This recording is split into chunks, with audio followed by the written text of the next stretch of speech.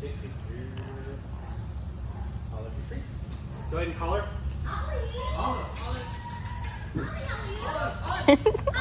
that way.